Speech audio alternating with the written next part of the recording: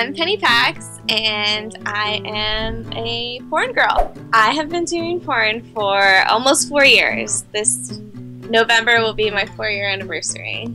I have always been an entertainer. I grew up on the stage doing live theater and dancing since I was very little. I also happen to love sex, so having the opportunity to be an entertainer and have sex is, I mean, it's a dream come true.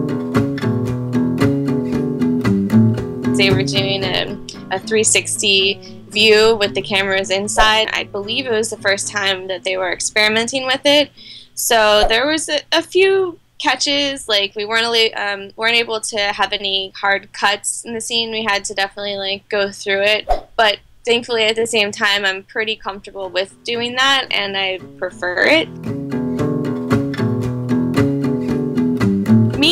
Starting as a porn fan to begin with, I just thought I was like, wow, they, they just they just do it like it's so easy, and uh, it definitely is not as easy as it looks. So I definitely learned a lot from porn actually, and uh, a lot about myself. So it's um, I guess that's the whole movie magic thing, magic thing though.